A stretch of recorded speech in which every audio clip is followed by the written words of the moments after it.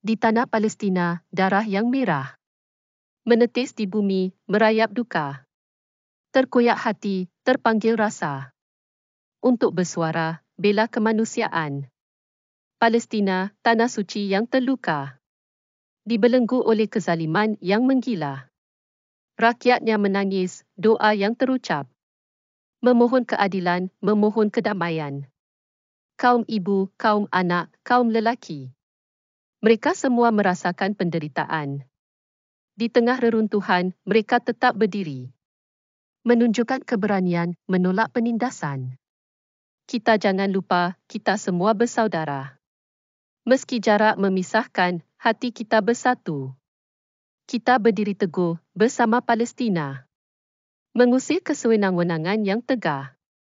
Berdiri tegak, bersuara lantang. Bela Palestina dalam setiap langkah kita. Teguhkan hati, percayakan doa. Agar kedamaian akan tiba bagi Palestina yang tercinta.